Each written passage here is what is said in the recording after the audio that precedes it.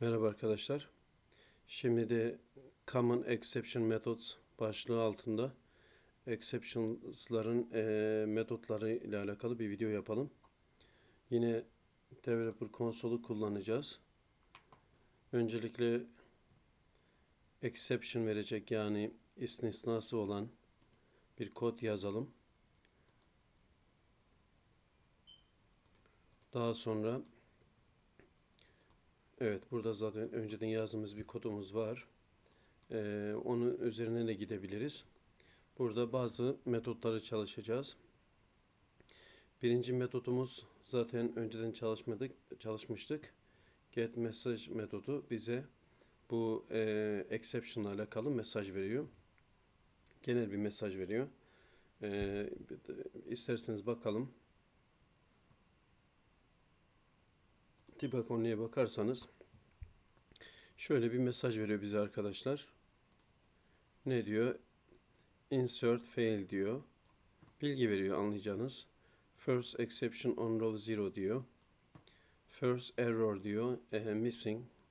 Yani zorunlu alanlardan bir tanesi doldurulmamış diyor. Onun da ismini veriyor. Evet arkadaşlar bu şekilde. Şimdi isterseniz ikinci metodu çalışalım. İkinci metodumuz şöyle yapalım. Bunun başına e, get get mesaj yazalım şu şekilde. Tek tek e, bilelim hangi metot şu şekilde yazalım. Evet. Şimdi bunu kopyalayalım. İkinci metodumuzu yazalım hemen altına. İkinci metodumuz arkadaşlar get cows metodu var. Şöyle yani bu e, istisnaya, bu exception'a neden olan sebep nedir? Hangi sebepten dolayı e, böyle bir e, exception var? Onu gösteren bir metot. İsterseniz burayı da değiştirelim. Bu ikinci metodumuz. Buna da bakalım. Bize ne veriyor? Açıyoruz, bakıyoruz. Evet.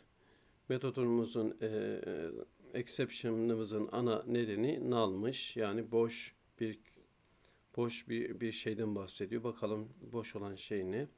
Gördüğünüz gibi boş bir account. Bunu veriyor. Burada görüyorsunuz. Boş bir account olduğu için bize exception veriyor. Ana sebep o. Sebebini bulmak için de bu metodu kullanıyorsunuz arkadaşlar. Parantezleri hiçbir zaman unutmayalım. Her zaman var. Onları bazen unutuyoruz. Bunları unutmayalım. Gerisi aynı. Her zaman i nokta. Bu i nereden geliyor? Onu soracak olursanız o da buradan geliyor. Her zaman bunu yazıyoruz. Kalıp gibi düşünün. Bunu buraya yazıyoruz. Evet arkadaşlar. İkinci metodumuz bu. Üçüncü metodumuz yine bunu kopyalayalım. Bir sonraki satıra koyalım. Üçüncü metodumuz şu arkadaşlar. Get e, line number diye bir metodumuz var. Line number hangi e, hangi sırada yani şöyle bir görüyorsunuz line number'larımız var. 1 2 3 şeklinde e, devam eden e, line number'lar var. Bu hangi number olduğunu, hangi sayı olduğunu, hangi sırada olduğunu gösteren bir metot. İsterseniz hemen yazalım. Get line number diyoruz. Bu şekilde hangi e, sırada e, hata yani exception hangi satırda oluşmuş onu görebiliyoruz. 3 diyor. Bakalım gerçekten 3 mü? Görüyorsunuz. Boş bir kümemiz var. Bundan dolayı hata veriyor ama bunu insert yaparken hata veriyor. Insert yaptığı line number'da 3 arkadaşlar görüyorsunuz. Burada 3 olarak biz bunu görüyoruz. Aynı sonucu burada alıyoruz arkadaşlar. Gördüğünüz gibi. Evet. Get line number'ı da kullanabiliyoruz. Ee, exception metotlardan bir tanesi de get line number. Bir sonrakine geçelim arkadaşlar. Değiştiriyorum. Bir sonrakisi e, get type name. Type name. Yani bizim şey alacağız arkadaşlar. E, hangi type bir exception var? Yani exception'ların type'larını çalışmıştık. İsterseniz önceden görelim daha sonra konuşalım. Gördüğünüz gibi DML exception. Şurada görüyorsunuz. Type'ı system.dml exception'mış. Zaten biliyoruz. DML'den dolayı. Hani demiştim ya eğer buraya siz DML DML exception yazsanız bile bu çalışır çünkü bir e, DML exception var burada. DM insert'ten kaynaklanan bir exception, bir istisna var. O yüzden type'ını da e, get type name'i kullanarak bulabiliyoruz arkadaşlar. Bu şekilde de yazarsanız problem olmaz. Çünkü biliyoruz ki bu bir DML exception. Evet arkadaşlar buraya E'yi yazalım unutmayalım. Exception tamam. Şimdi bir sonrakine geçelim. Bir sonrakisi şu İngilizcesini get stack trace string diye bir e, metodumuz var. Bu ne işe yarıyor? Ona bakalım. Get stack e, bunu buraya da yazalım. Evet arkadaşlar. Ne işe yarıyor?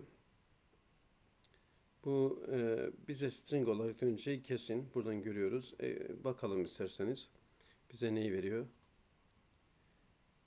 Evet. Line 3 kalın 1 veriyor. Bir de bu e, nerede yazılmış herhalde onu veriyor. Ya benim anladığım herhalde şöyle diyor. Biz bunu Anonymous Window'da yazdığımız için Anonymous plug diyor.